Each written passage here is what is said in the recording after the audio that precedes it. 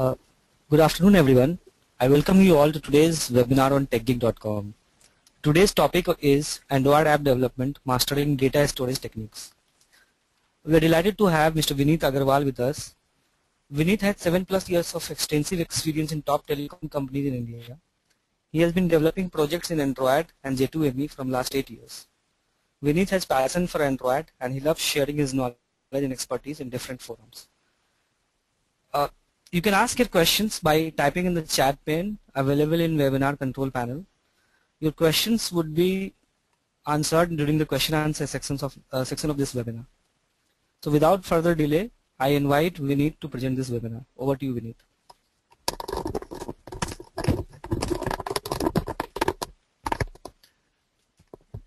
Thanks, Keshav. And uh, first of all, I would uh, like to thank uh, TechGig for giving me this wonderful opportunity to present my ideas again to Android community. Friends, today our topic is Android mastering data storage techniques.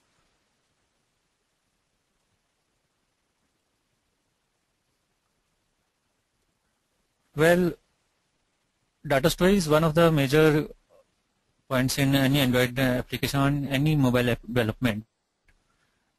There are some techniques which uh, I would like to share with my fellow Android people and that will help them to run their apps in good manner. So before proceeding, I would like to tell about something about myself. I'm uh, been in industry for last nine years and uh, currently working as technical head in mobile technology in Brickred. Brickred is uh, one of the leading player in mobile space and uh, has been voted as uh, 34th place in most valued workspace in uh, India by Deloitte. Some of the major projects uh, you know, Android is done by me, Samsung Movies and with the education and uh, they are learning of firmware of devices. So while designing these applications, I uh, I got a thought that why don't share the experience uh, with the fellow uh, my Android community.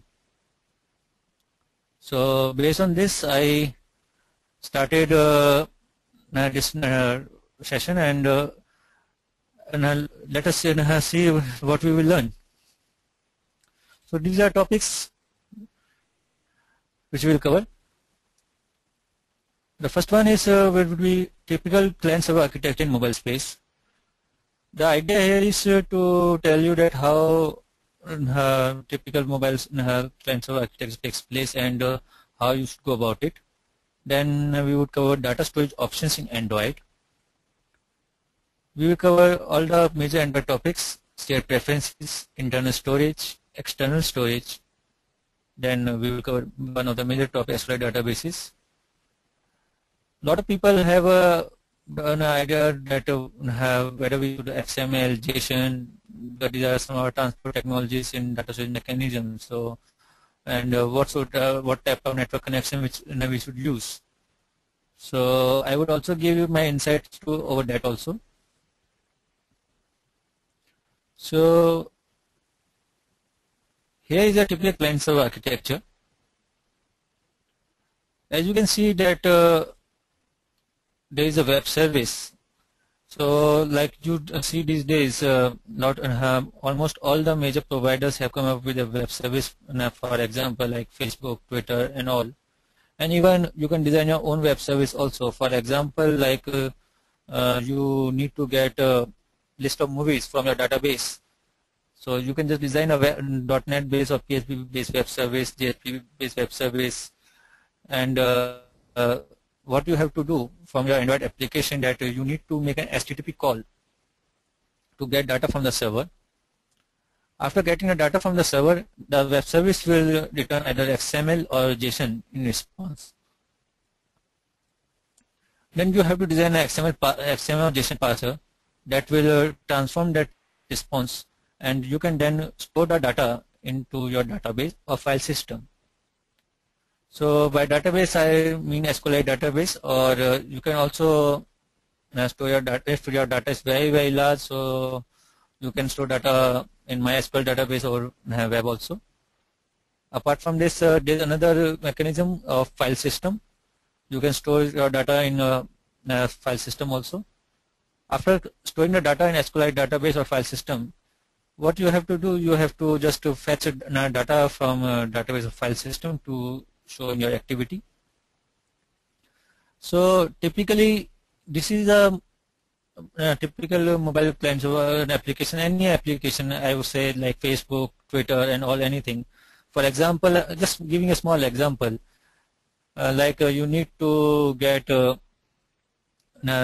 user information, user profile information basically from uh, your Facebook uh, has a web service. So what you can do then you just make a HTTP call, pass the data which you are getting and um, whether it can be XML JSON or you can then store a data in uh, your database. The idea here is that you don't have to make the call again and again because mobile devices are very resource intensive devices.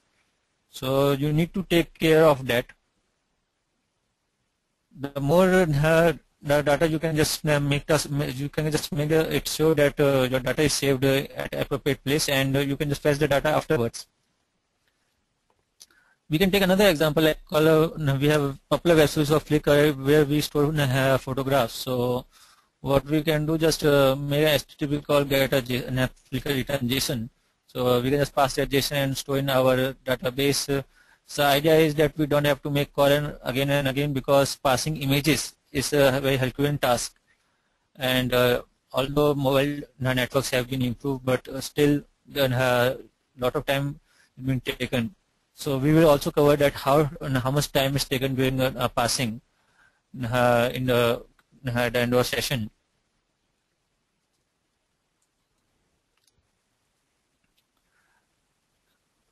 These are some of the popular data storage options, options in Android. The first one is share preferences. Share preferences help us to store primitive, in a private primitive data in key value pairs. The second one is internal storage. You can store private data on the device memory.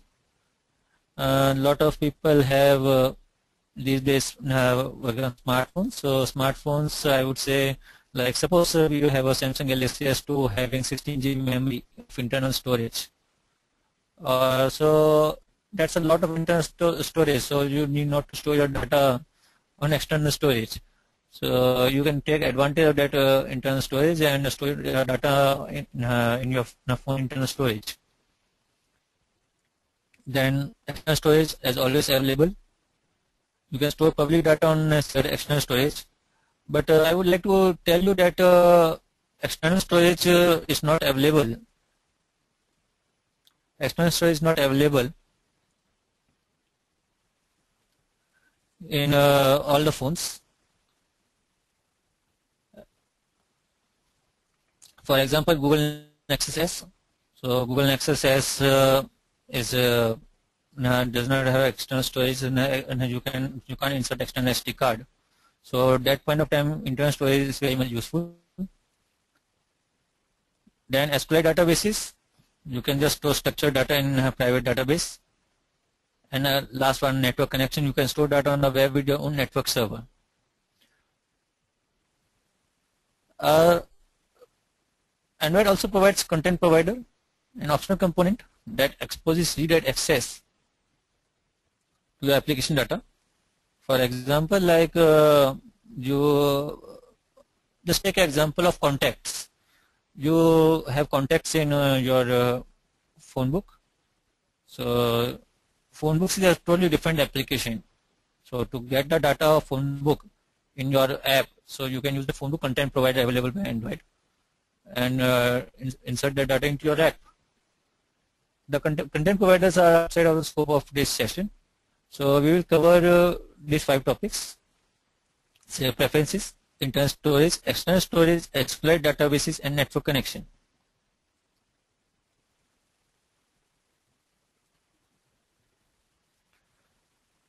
Well, share preferences. During days of J2ME and all, uh, like uh, there was a lot of problem of DB. J2ME, when it started, uh, it was uh, have a record storage which was buggy actually. So at that point of time, sometimes we need to even we need to store our login name, data, and password also in a in a on a MySQL database in a, on the server. But uh, with uh, but uh, the share preferences to solve this issue basically. You don't now you don't have to store a lot of data in a, a small data basically in a, SQL database. Suppose that you have just have two values and uh, those two values are login name and password.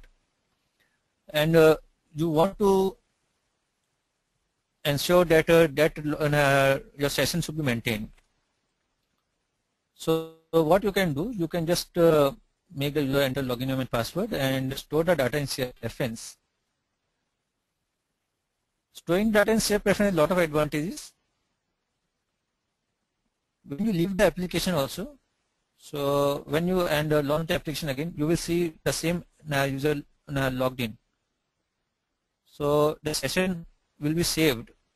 User session will be saved basically in your uh, in Android app. So you don't. So user need not to log in again and again.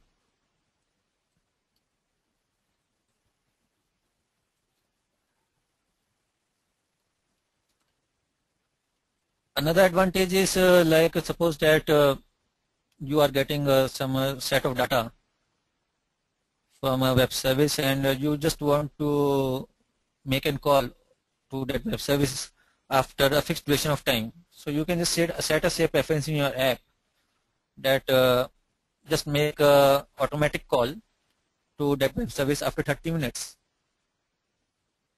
So lot of advantages are there we will cover an uh, example soon over the shared preferences.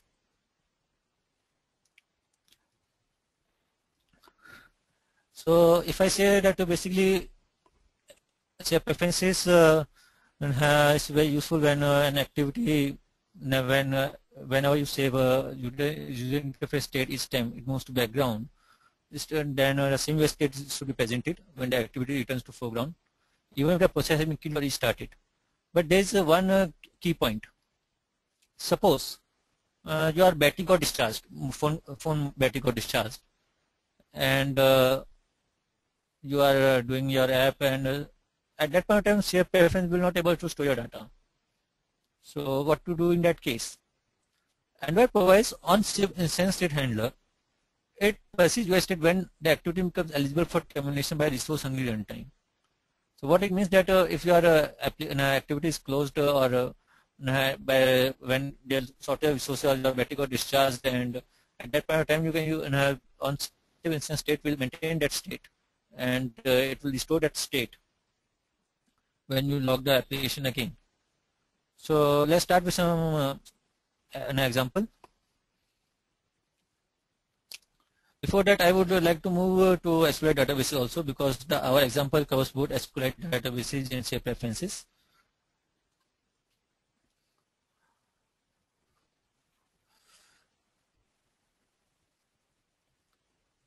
Well, SQLite databases. With SQLite, you can create independent relation databases for your application. You can use them to store and manage complex structured application data. SQLite is a lightweight open source JSON database management system. It has been implemented as a compact C library including Android software stack. Each SQLite database is an integrated part of the application that created it. This reduces external dependencies, minimize latency, and simplify transaction login synchronization. And it's extremely reliable too. So suppose that uh, you get uh, a list of movies in your app. And uh, the movie database contains uh, around thousand of movies. So it would be very bad that you fetch a thousand movie and uh, uh, you fetch uh, just suppose you fetch uh, around uh, 10 movies and you just close the app and you see okay mm, those movies are not in my app. So you make an HTTP call again and fetch the, fetch the data so to prevent that kind of thing and to prevent uh, network calls again and again, uh, and provides you SQLite database, what you can do, you can just store the movies in a list of movies in SQLite database. and uh, show your uh, the data from your SQL database. You can create a mechanism on, on uh, to server or you can create a preference that to make a call to my web service after after every 30 minutes. So if there is any addition of data, so I, you will get the data and you can just update the UI with that data. So in that case, uh, SQL databases are very much uh, useful.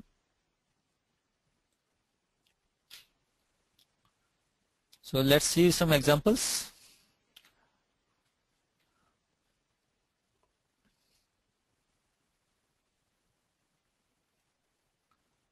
So the example which we are doing,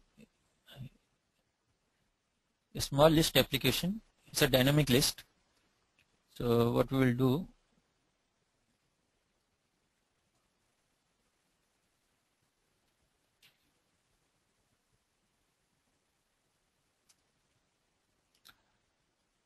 So this is our dynamic list. You can see a blank scheme. So you can just press a menu button, add a new item.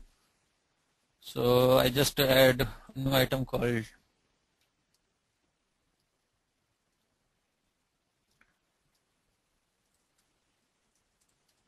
TechGig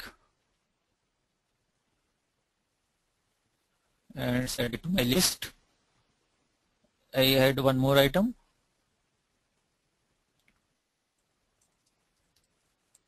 webinar. Now what I do, I just close my app.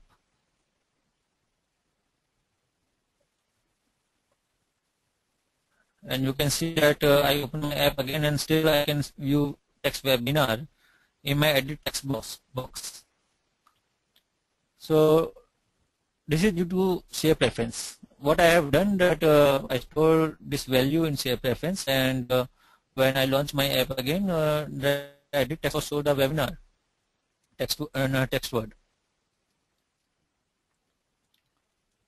So basically, I'm what I'm doing that uh, I'm st uh, storing this data in a SQLite database, and uh, after storing and getting that data from SQLite database in my list. So let's view my database. So to view my database, uh, what I will do, I will go to Window and uh, in this so view other file explorer. So in the file explorer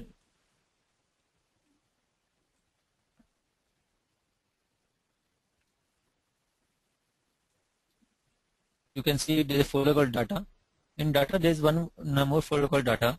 Basically this is your uh, file structure of the emulator so in the basically in the emulator uh, you can see there is a full level data data some uh, corresponds to your internal storage.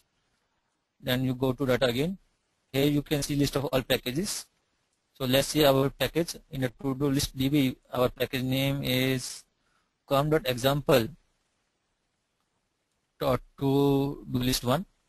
So let's search for that package.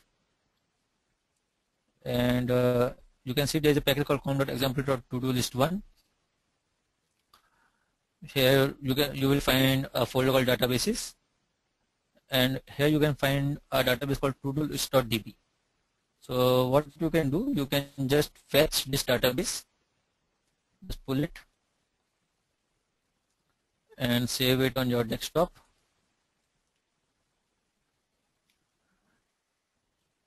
We have a tool called SQLite database in a browser. It's not uh, embedded, so you can just uh, uh, download it from Google. So what SQLite database viewer does that uh, it uh, shows uh, DB information, and you can also it also gives you liberty to add and delete data. So what you can do, you can just file open database and search for your database, say to do this database open so you can see that uh, we the two values which we have created tagging webinar are here and with some custom and date values also. So SQL database viewer is a very useful tool and I will rec recommend you to use this tool to, to view your database. Let's go to code. I will I would like to tell you that all this code is uh, would be uh, available to you and you can just mail me at my email id vineetmobile@gmail.com. So get these codes. I will mail you these codes. So basically we have activity called to-do list. Let's straight away go to onCreate. In onCreate you can see that we have created a list view object and an edit text on uh, an object. So what we are doing on clicking edit text and press basically enter key. So we are uh, storing the value into database.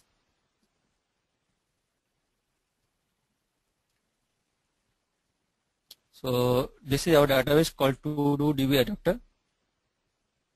So let's see what this matters. Before this, I would like to tell you about by what uh, all these matters means.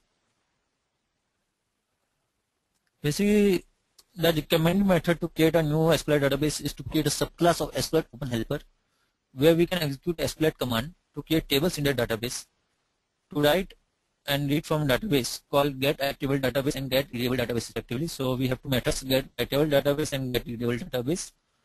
And uh, what we have to do whenever we want to create a SQLite database, first we have to create a class and uh, now we have to extend a class with SQLite Open Helper.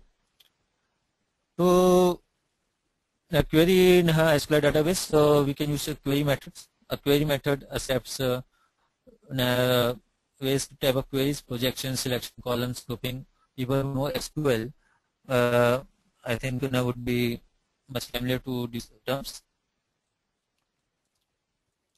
Well, I would also like to recommend that people must learn SQL, uh, and so it would uh, help you, them to uh, query and uh, write queries over the SQL database. Every SQL query will return a cursor object that points to all rows found by query. So basically, whenever whenever you query, so on returning it throws your cursor object. That cursor objects uh, stores information of all the uh, of all the results, and you can get navigate the results and read it in the rows and columns.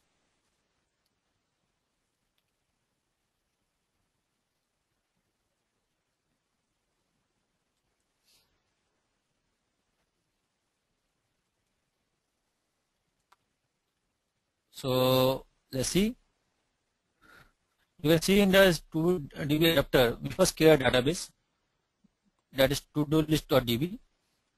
Then uh, we have a table also to do items. You can see that uh, table name here is to do items. We have created three type of fields underscore ID, task, case, and date. So what we are doing that uh, a to do DB open helper, we just create a class to do DB open helper that extends SQLite open helper. Now this is our database query. Create table, database table with this uh, values key ID and we, uh, we have given primary key to ID and key task and key creation date.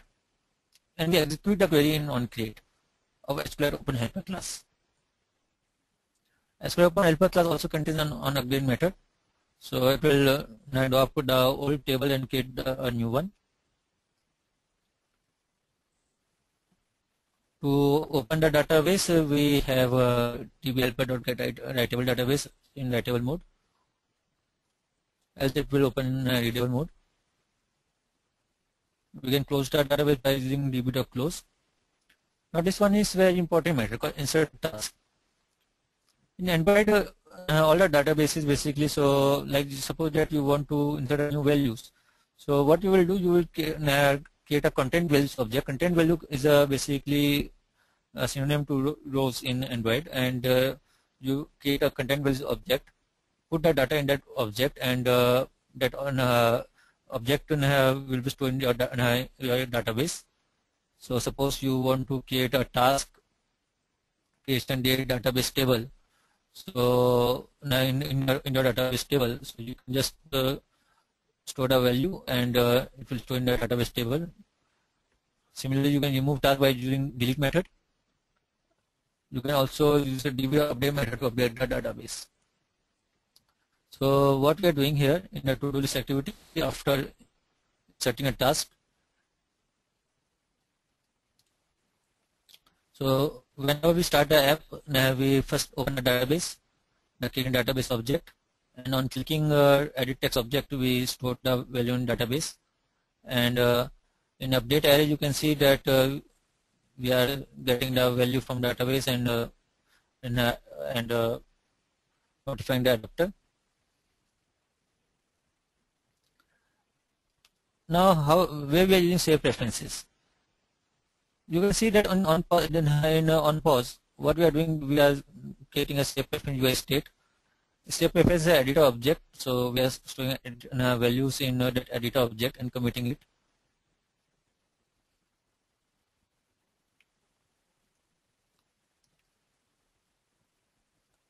And you can see whenever we start the app, we call a restore UI state method what this restore UI state method does.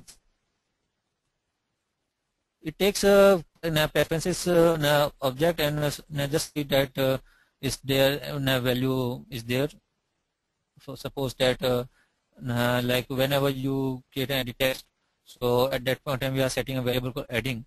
You just check that that value is true or not.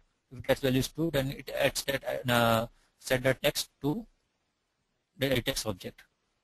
So this way we have seen that uh, how we save uh, database and objects basically. Our next topic is uh, internal external storage. Well, internal external storage is one of the major topics I would say because a lot of time suppose that uh, you have some uh, files basically which uh, you want to uh, basically for example like you have a CSV file and uh, you are taking data from that and uh, you are taking uh, data from files you can take images a lot of things are there. And you can't just keep everything in your SQLite database. So file is a good mechanism. And you can just take data from uh, from those file system and take your application. So we can save files directly on device internal storage. By default, files saved to internal storage are private to our application and other applications cannot access them. When the uninstall application, these files are removed. So you can write a file by using uh, open file output method. This will return a file output stream and uh, you can just write to file by using write method. We will just do an example over this and then you can close the stream with close method. To read a file, you can uh, just call open file on a input with the file name to read. This will return a file input stream. Read bytes from file with read method, then close the stream with close method. So let's see. Very simple example, and uh, we'll just teach you that how you can do internal storage.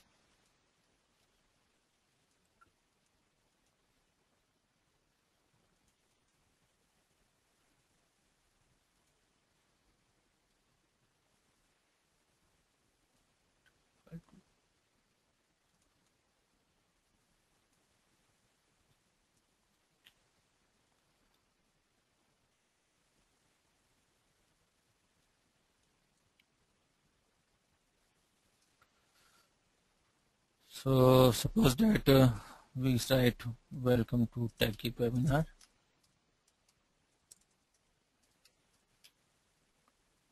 We save it. Now this data is in our files. We just load it. So we are loading the data from file and let's see where this data is. So we will just go to File Explorer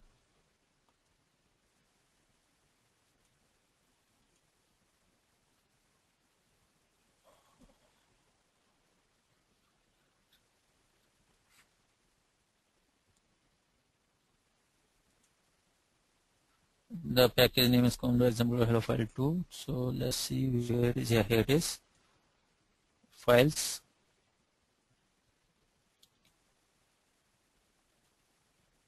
So I just uh, pull this file from device. Save it on desktop.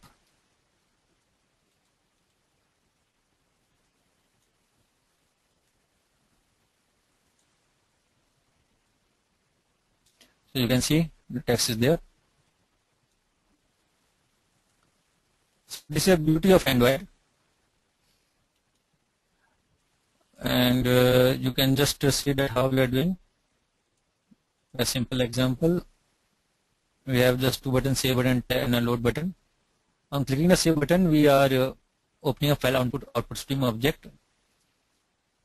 We are creating a file output stream object opening the file output we have just uh, mentioned file called sum.txt and uh, write the file uh, to that output stream. If there's any IO exception so we are catching catching it. On loading the button we are creating an input stream object. Open the file sum.txt creating a reader. And uh, just reading the data from by using input stream.read and uh, set text in our text view in our edit text view. So this is our internal storage. Now what about external storage? See maybe some people don't know but you can also do external you can also test external storage in your android emulator. So just go to avd manager. You can see this this is my TechGig emulator. Press edit so if you whenever you create a SD card, an uh, emulator you can just mention the size of SD card Suppose that I mentioned 256 MB and you can just create, uh, the AVD and it will just create it for you. So now you have virtual SD card with you. But uh, I will recommend that uh, you should test your application on real device because uh, whenever you have take 256 MB or 512 MB, it's okay. But if you create uh, around 2 GB or 3 GB space in a webinar, so 2 GB or 3 GB SD card, so it will use space in your take use space in your device system also and uh, the emulator would be very slow. So my request is that you always take a, advantage of uh, your Android device to test it. So let's see this example. So very small example actually it's just uh, basically just writing a text called hello world your external SD card so it's a reading from SD card called Hello World. So let's see that how we are doing here.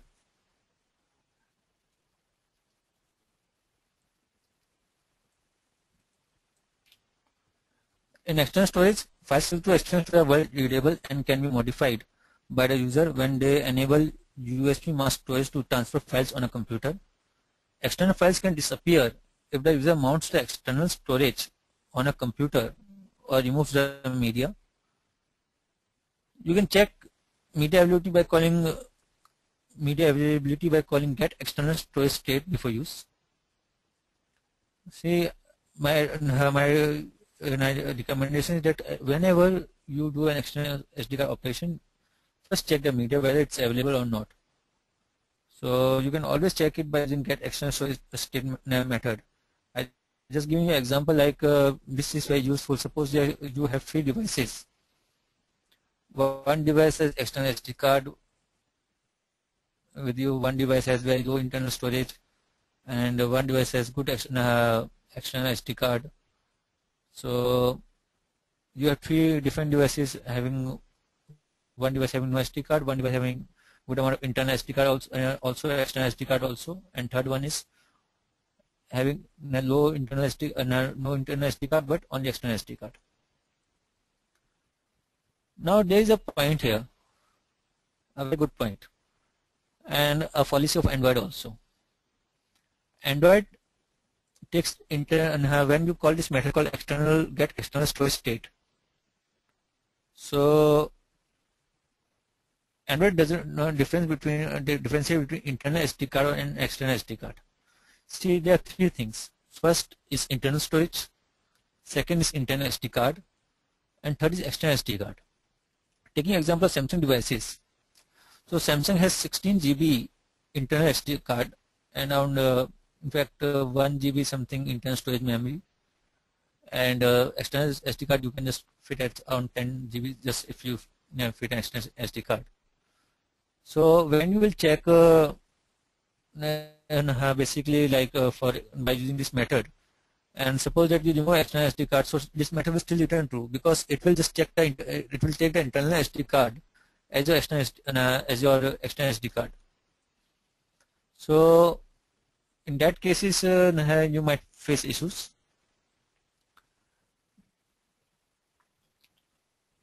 So to access the files on external storage, use get external storage directory.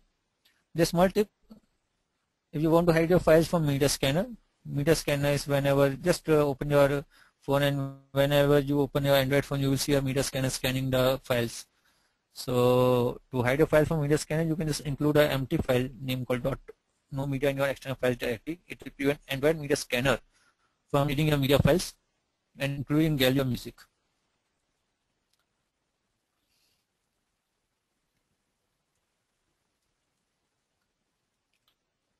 So let's see the example. So you can you can see that uh, uh,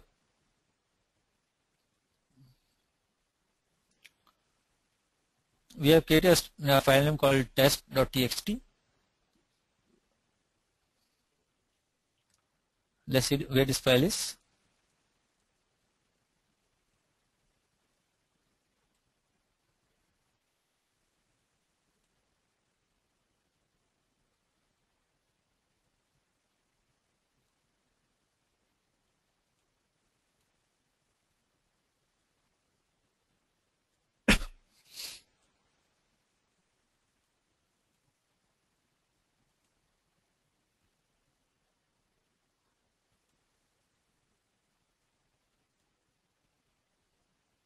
Oh, sorry, it would be an external SD card. External SD card is your MNT folder. You can see here uh, this MNT folder is your external SD card. So in external SD card, you can just see there's a folder called test underscore folder which we have created. And in test underscore folder, you can see a file called test.txt. So if you you can see a text hello world here.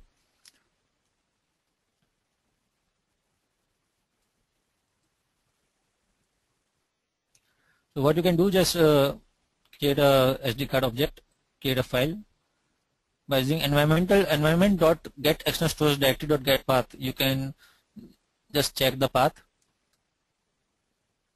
then check whether this file exists or not, and uh, you can you have write access or to that or, or not.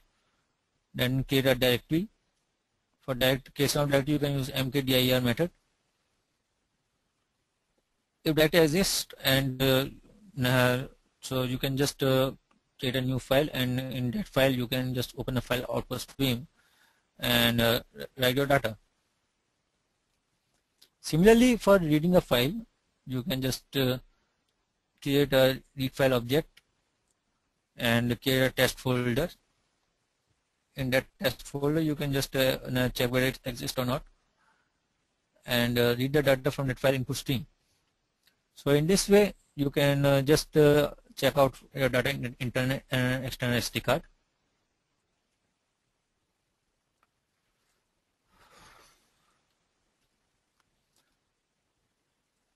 So, so far we have learned about the shared preferences, SQL databases, internal external storage.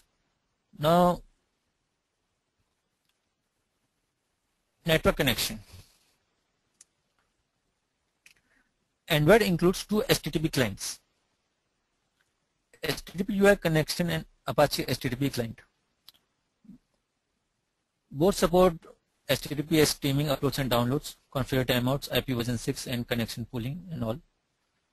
But the major thing is that lot of developers are confused that when I have to use HTTP URL connection and when I have to use Apache HTTP client. See, Apache HTTP client is stable. and they have a few bugs also. But the size of API is very large, and for uh, mobile devices, it's uh, not recommended. So large size of this API makes it difficult to improve it without breaking compatibility. And in fact, Android team also stops work, uh, working on Apache HTTP client. HTTP URL connection it's a general purpose lightweight HTTP client and is suitable for most applications. But what uh, Google uh, recommends that use uh, Apache HTTP client till SDK 2.2 is Froyo. After Froyo you should use HTTP connection. The reason being HTTP connection is so buggy prior to Froyo. In particular calling close method on a readable input stream it will an a quick poison connection pool. Although you can work around this by disabling connection pooling. So, the API simple and small size makes it great fit for Android. Transparent comp compression and response caching reduce network uh, use, improve speed, and save battery. So this way you can just decide at which uh, uh, library you should use. Another major point during network operations is comes out of XML parsing. There are three parsers. Which would I use? DOM, SAX, or Pull. With, with, this graph, you can see the, the parser performance. So you can see that for small file size, DOM parser is uh, okay. SAX parser is also okay and Pull pass is also okay. The defense comes with medium and then with large. So you can see that SAX pass is taking less time compared to DOM and Pull passes. You can further reduce this timing by effective thread management. So like uh, using async task handlers and all, so you can use uh, further reduce the time. Other things which you can use that uh, keep the data uh, small and uh, have your size of XML to be small. Uh, just remember that more the size of XML, more it will take time to pass. So, what's DOM parser? DOM parser works by passing an XML file into a native structure. It typically uses the most memory of, uh, of net-free parsers. So it is most memory of free passes and we don't have memory and right. So therefore I always uh, reject DOM parser. A SAX parser works by having user implement a class with, a, method handlers for various events such as finding text or attributes. Where pull parser works by creating a loop that continually requests the next event and can handle that event directly within a loop. So based on your requirements, you can either use a SAX parser, Pull parser, although my recommendation is using SAX parser. So passing uh, and uh, please keep uh, try to keep the size of XML as small as possible. There is no use of keeping uh, waste data in your XML because uh, for uh, web operations it's okay because uh, we have a lot of bandwidth but in mobile devices there is shortage of bandwidth. So please keep the XML file size small. Another major uh, point contributing JSON, people say JSON XML, XML is most popular format, but JSON is coming these days. If you see Facebook, Twitter, Flickr, all are coming with the JSON popular formats. And it's recommended for Android devices also does not take up a lot of space. Another thing is that JSON is uh, delivering native data structures, so native Java data structure. So therefore, it takes it's, uh, it's uh, simply faster compared to an XML. But uh, again, it depends on scenario to scenario also. But generally, it's faster.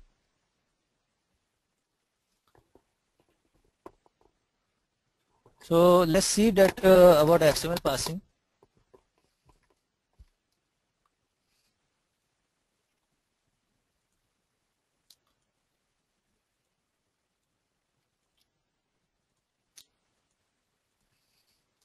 Although the example which I have uh, basically will not show you much difference, so I'm not running it.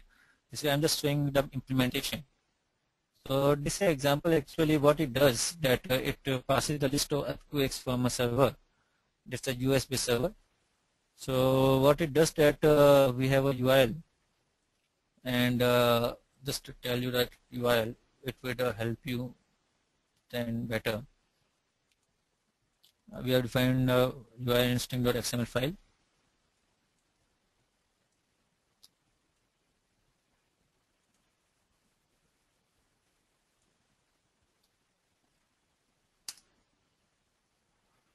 So you can see this is a list of latest earthquakes and uh, coming all over the world. So if you can see this XML file, you can see that uh, there is a root called feed, then uh, some subtext.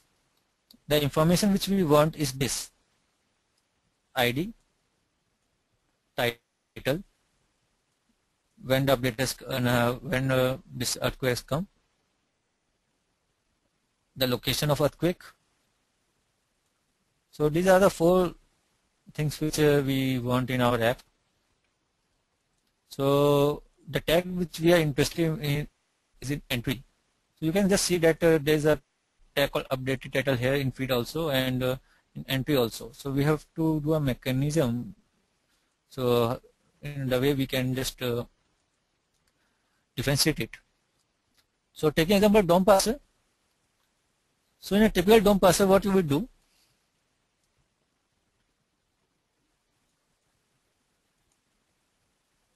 In a typical DOM parser, basically you have basically after creating a HTTP URL connection, you will just get the and getting a response code.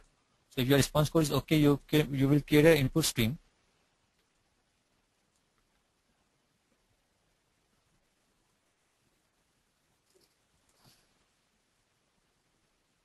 Uh, just apologies actually it's a SAX based parser so I would come to it later. Let's first uh, move to DOM based parser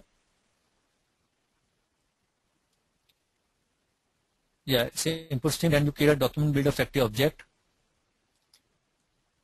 after that you create a document builder. Then you pass that quick feed by the document object.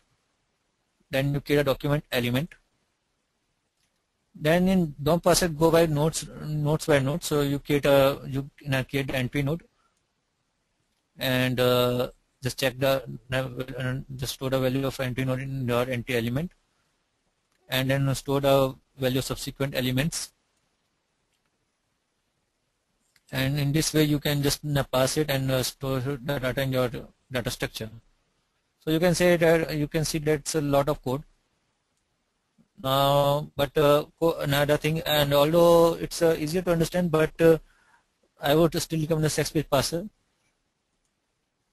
Now, for SAX-based parser, what we are doing, I'm just you know passing. Uh, basically, I'm just calling this my passing spontaneous January. It's, uh, a defined method. So what we, I'm doing, I have created XML parser of Java. So this is my SAX-based XML parser. It's create, extending the default handler. So what I'm doing here, I am creating a SAX parser factory instance, creating a SAX parser factory object and create a XML reader object to handle the content. And uh, I create a variable called bentry. bentry corresponds to your entry element and I set to false. In SexWay parser, there are three methods called start element, characters, and end element. Start element checks the element at start point, characters get the data from that element, and end element uh, checks the data at uh, checks the element at end point.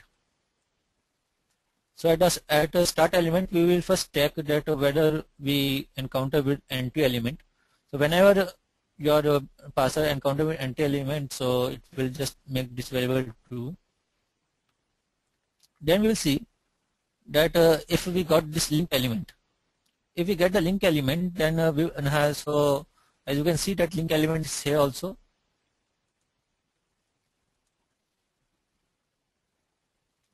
and uh, in entry also.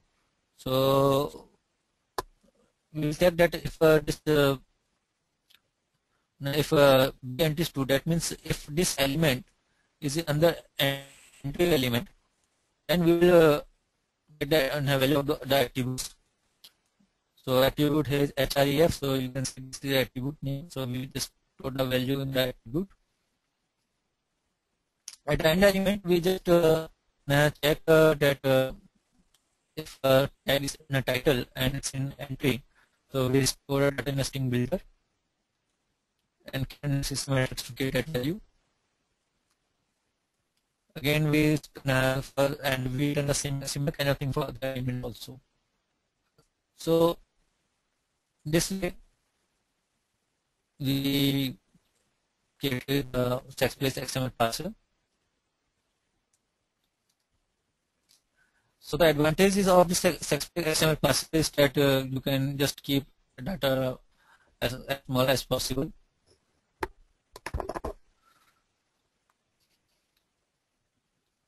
at the end of the, at the end you can just store the data in quick object so this is the way you create a XML parsing similarly I would like to show you a JSON based example also. See it's a Flickr based web service and uh, what it does that it uh, gets a Flickr uh, images from uh, your Flickr based web service so what we do that uh, we have just take an async task. Async task is very useful for managing it does useful uh, network management.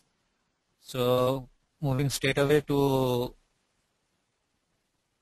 uh, our use case, we just get an input stream and uh, get a data string builder. Reading the data and appending it, we create a JSON class object. Basically, this uh, feed is written here JSON so we create a JSON object. In this JSON object, actually we have array in a object called data. Then uh, we can have, get uh, object called uh, we get uh, the photos object. Under photos object we have a array called photo.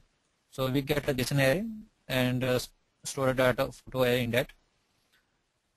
And then uh, we just create a photo array and uh, get all the values in the, the photo data JSON array object in that photo array by just passing through it. So you can see that uh, uh, JSON array is uh, very useful and uh, basically it's very smaller too. So in this way you can create uh, lot, do lot of things. So this is our session and uh, I would say that uh, and my recommendation is that whenever you create uh, and take basically operations and all. So and data storage operations. So please keep in mind about, the thread management and all everything because it gives you an ample opportunity to design effective Android-based applications. Keep in mind about HTTP client, HTTP connection advantage in Jinche 2.3 and ice cream sandwich also come up. So this is all about this now basically the session and uh, I would like to, to say at the end of session I will also say that if you have any queries so you can always contact me at gmail.com and get the course and you can ask me the suggestions uh, on the email also. So I would like to invite uh, if any questions are there so I'd like to answer those questions. Yes, uh, the questions are already shared with you. Can you please find the questions in the questions frame?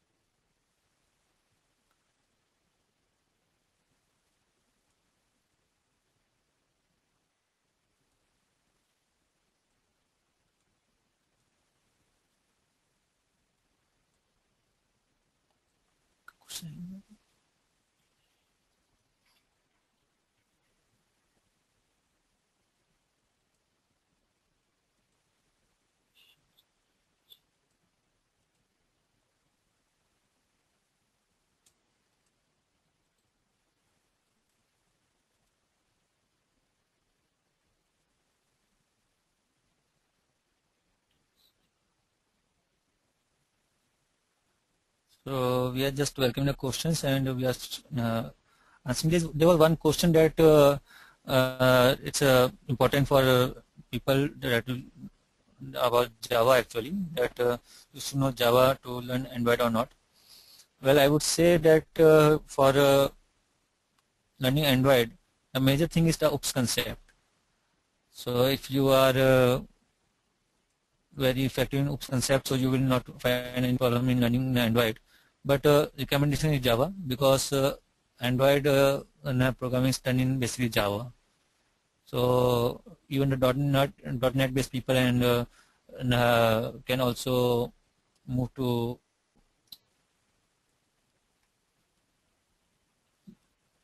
uh, .NET based people also can uh, move to Android. So what you need to know basically is the OOPS concept. Another thing is what I would like to say that uh, there is uh, one more question over uh, the share, uh, preference that we we should uh, use share preference to store the login values or not. So, so basic sessions uh, share preference are uh, are there to maintain uh, preferences. So you should always use share preferences in her in this uh, task. So disadvantage there always.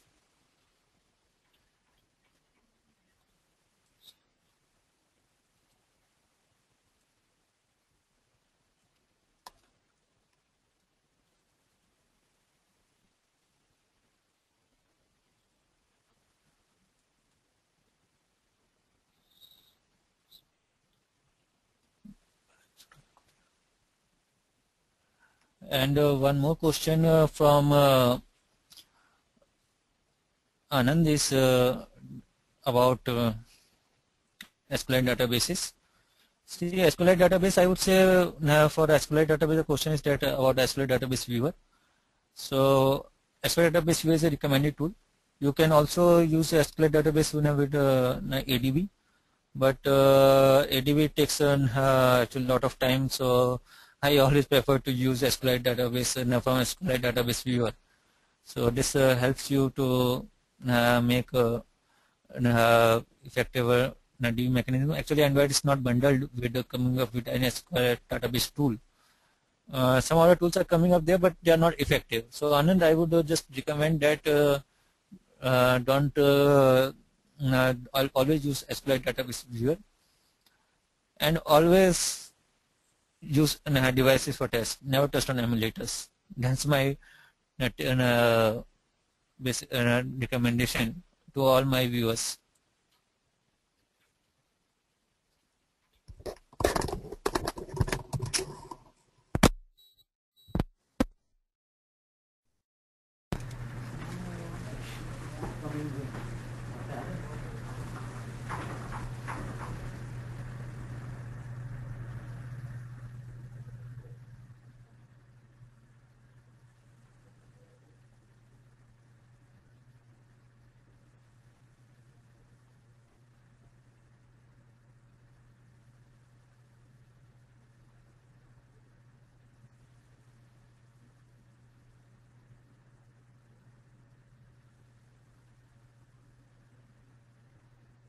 Uh, there's uh, some question from uh, Mr. Vikas Sharma that on which technology Android works. So basically Java, it was on Java. There's one more question from Ravi Kiran that how to create a web service. So Ravi, actually web service uh, is actually J2E part or you can just create a web service in J2E or uh, .NET base. So you have to learn server-based programming for that. So a question from Praveen is how to create APK file with existing SQLite database. See if like you want to create SQLite uh, existing SQLite database, so you can take exam an advantage of uh, assets folder. So you can always uh, store your existing SQLite database in assets folder and uh, store the values there. A question from Ravi Teja is where do we store data internal mem uh, we store data, internal memory or external memory, and uh, using SQLite database.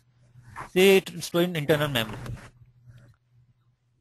a question from Banta Bhai is uh, so can we access the shared data outside the environment from by uh, .NET or uh, PHP app?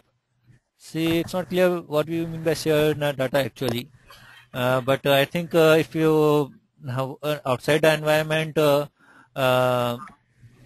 it's not accessible. Like if it's from internal space, it's not accessible. Basically, you have to always call database database. Can we implement MVC in Android? Well, Adnan MVC is already implementing in Android.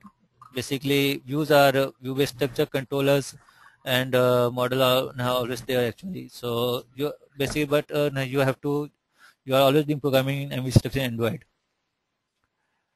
A question by Chaya. At the time of exit the app, if I kill the process, then will save preference will save my data. Yes, it will save your data. No uh, sorry if you kill the process.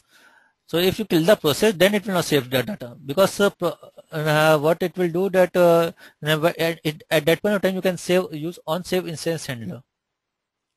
A question by Nagender is uh, can I insert my menu item in third party intent? uh, suppose I'm opening native voice recorder for my application I want as soon as record will and display using cancel voice automatic yeah, you can insert a menu item in, third-party intent.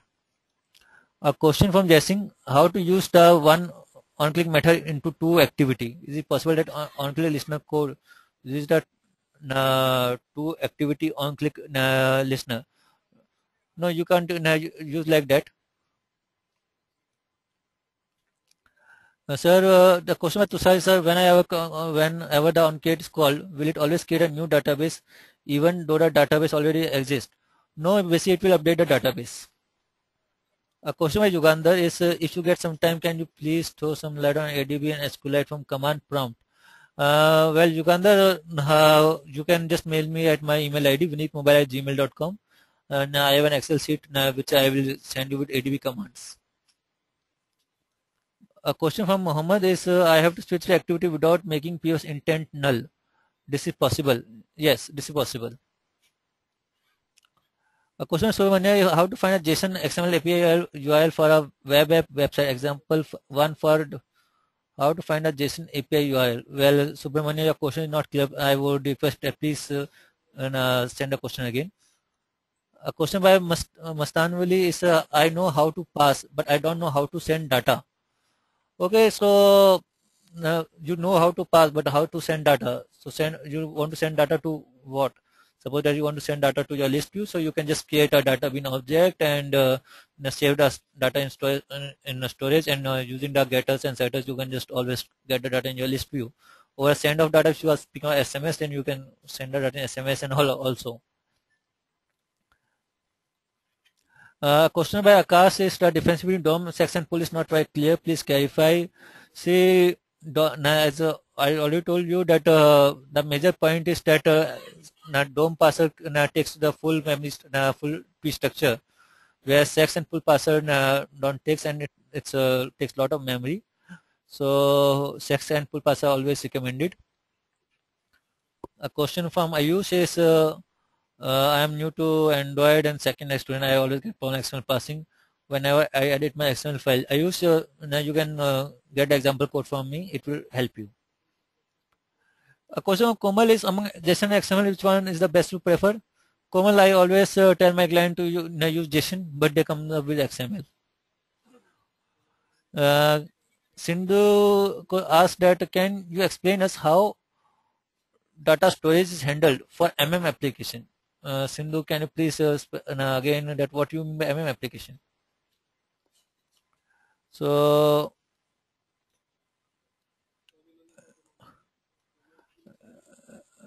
and uh, I think that's all from my side. My email ID is uh, vineetmobile at gmail.com, V-A-N-E-T mobile at gmail.com. So you can uh, always uh, mail me at my email ID and send and ask me the codes and all.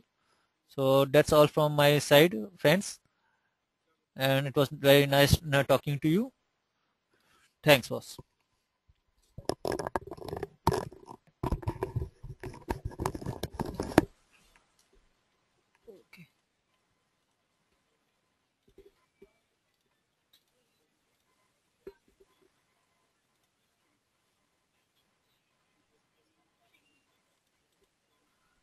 Thanks, Vinit, uh, for taking this uh, really informative webinar. Uh, we learned a lot about uh, Android development and mastering data storage techniques. I would also like to thank our participants for making this webinar a huge success. The recording of this webinar will be uploaded on TechGig.com by tomorrow. We will keep you posted on that. So thanks again. Thanks everyone for joining the webinar. Thank you.